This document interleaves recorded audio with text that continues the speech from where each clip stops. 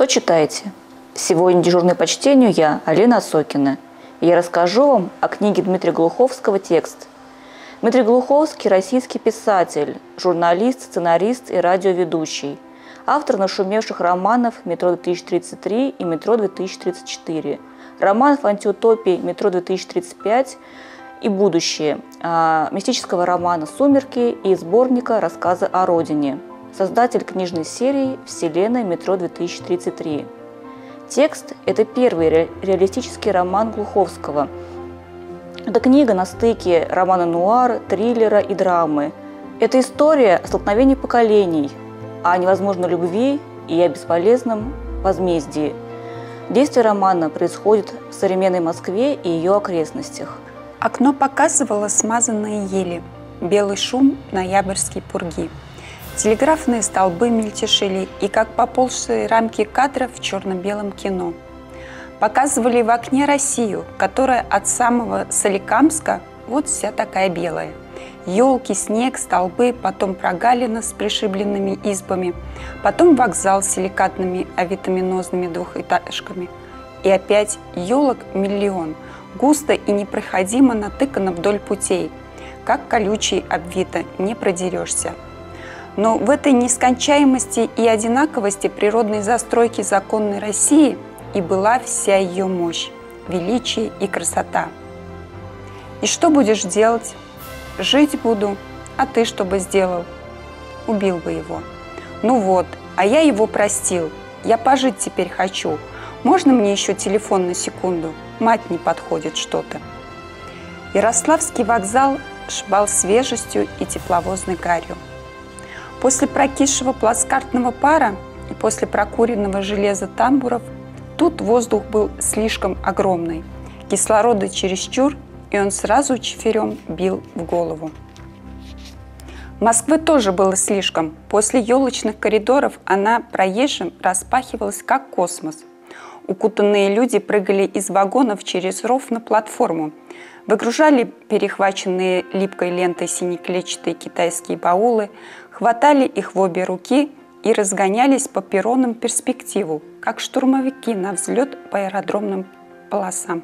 Перспектива была дымной, и в дымке приехавшим людям брежели дворцы, замки и высотки. Илья больше других не спешил, в потоке не греб, давал себя нести. Нюхал московское небо, присматривался отвыкшими глазами к дали, удивлялся молча. Было ярко, как в детстве. Тусклая ноябрьская Москва резала глаза. Приехать он в Москву приехал, но попасть еще не попал. Вокзал был еще пока территорией окружной и засаленной России, как Бангладешское посольство является во всех смыслах территорией государства Бангладеш. В конце платформы было сделано сито. Илья его уже издалека привычно разглядел поверх чужих голов – Серая форма, глаза рыщущие, цепкие, наметанные. Раз, раз, раз. И даже собака служебная на цепи. Полное сходство. Тут понятно, она не для того. Тут она просто нюхает себе наркотики, взрывчатку, наверное. Но ведь она и страх может унюхать. Илья стал смотреть пустоту, чтобы мимо цепких глаз, чтобы не примагнититься к ним. Стал думать ни о чем, чтобы ничем не пахнуть. Молодой человек, он тут же застыл послушно. Как они его узнали? По оттенку кожи, по сутуленной спине, по голове пригнутой, как собака зверя узнает. «Подойдите, документы!» Он отдал паспорт. Лиснули на прописку, цыкнули. «Откуда возвращаетесь?» Врать или правду говорить. Не будут же они проверять. Ездил, ездил куда-нибудь отдыхать, к бабке, в командировку. Как они проверят?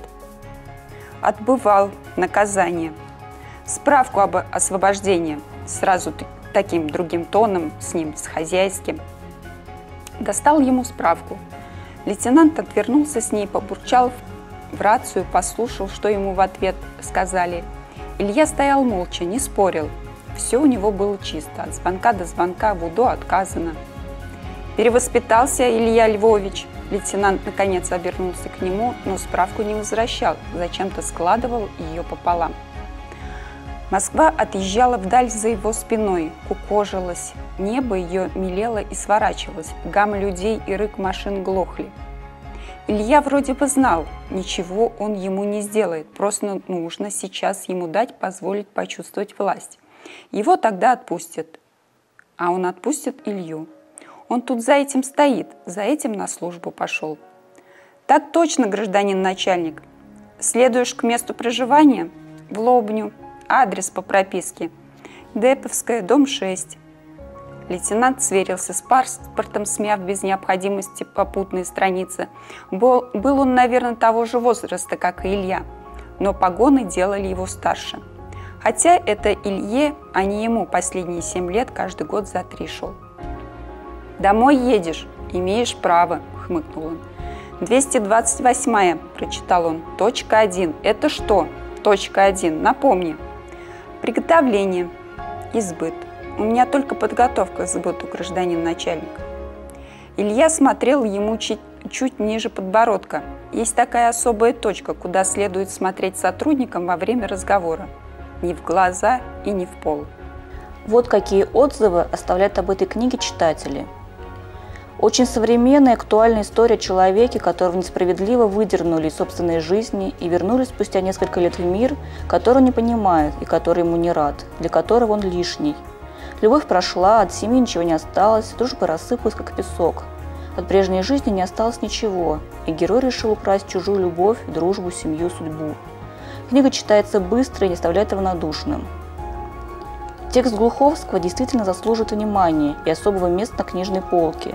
Такой атмосферы в юге событий, череды рассуждений ожидаешь увидеть разве что присматривая киноленты Юрия Быкова – к концу книги думаешь, а может быть, можно было Петру исправить все их жизнь в нужное русло, как это сделал Илья. Но в том-то и де- дело, что все изменить к лучшему, надо быть просто таким человеком, как Илья, простым, честным и искренним. Прочитала в запой, книга потрясающая, именно потрясает и переворачивает. Главное, от чего не могла оторваться, это язык автора. Будничный, острый, остроумный, неправильный красивый, а живой и жизненный – можно добавить, что в романе точный портрет повседневной Москвы, московского будничного потока людей и небудничных точных реальностей. Сюжет также не отпускает внимания до самой последней страницы. Не люблю триллеры. Этот роман классифицируется как триллер. Я бы сказала, это острая реальность. Очень философский роман, заставляет задуматься о многих выборах, которые мы делаем каждый день и даже каждую минуту, не замечая их, много глубоких переживаний оставляет книга. Милиционер тянул время. Ему нравилось, что он может время гнуть, как проволоку. Тут собака вдруг взяла на загнанного таджика с клетчатой, как у всех сумкой. «Ладно, на учет не забудь стать!» Лейтенант сунул Илье его справку. «И не торгуй больше!» Илья кивнул, отошел в сторону, убрал бумаги во внутренний теплый карман, где и сам отсиживался, пока допрос длился. Лейтенант уже увлекся таджиком, ведь он был перспективней, просеялся. Контуженный мир помаленьку пришел в чувство, начал разговаривать. Но теперь, подойдя к Москве поближе, Илья видел в ней везде только то, чего издалека из поезда не было разглядеть. Милицию. На вокзальной площади, у входа в метро, павильонах, на станциях. Хотя, может, это не в Москве было дело, а в Илье. Забирали его из лета, выпустили в самый конец осени. И Москва, в которую его выпустили, не была похожа на ту, из которой его забирали. Москва стояла сейчас как голое ноябрьское дерево, влажное, темное. Раньше вся она была обросшим яркими вывесками, киосками для торговли, чем попало, а теперь посуровела, стряхнула с себя разноцветицу, разделилась до гранита. А Илья обожал ее раньше, когда она притворялась сплошным базаром. Ему казалось, что на этом базаре он сможет купить себе любое будущее. Он приезжал тогда в Москву из своей лобни электричкой, в университет, в клубы, на концерты, и каждый раз воображал себя москвичом. Надо было только доучиться, найти работу в центре и снять с друзьями в квартиру. В Москве земля была волшебная, удобренная гормонами роста, ткни в нее свои желания, и вырастут и работа денежная, и модные друзья, и девушки самые красивые. Москва и сама была от себя пьяная, во всех своим хмель, хмелем угощала. Не все было возможно. И от Москвы не убыло бы, если бы Илья отщепнул от ее пахнувшего сладкого теста свой кусочек счастья. А сейчас она как будто ему снилась. Она ведь часто снилась ему там. Она стала строже, серьезней, официальнее и выглядела от этого по понедельничному. Он узнавал ее и не узнавал, чувствовал себя в ней чужим, туристом, туристом из Соликамска и еще из прошлого. Немного постоял на площади трех вокзалов среди других иногородних. Можно было сделать вдох и проморгаться. Проморгался и пошел – он ступал по Москве осторожно, чтобы она от слишком широких взмахов и слишком уверенных шагов и в самом деле не оказалась бы сном и не рассеялась бы, чтобы не очнуться от нее масляной э, серой тюремной хате, зябкой духоте. Но Москва стояла надежно. Она была за правду и навсегда. Его освободили, точно, освободили – Илья купил на предпоследние деньги билет в метро и поехал под землю. Ему навстречу конвейером вынимало из недр московских людей. И тут можно было посмотреть им на лица. Люди за семь лет успели приодеться. Вперед и вверх они глядели решительно. Многие взбирались по ступеням, не могли дотерпеть полминуты. Наверху безотлагательные дела. Москвичи очень спешат жить, вспомнил Илья. Из всех встречных, а там и были и обнимающиеся любовно старики, и поп в телефоне, и не сдающийся возрасту панк, Илья запинался только о женщин.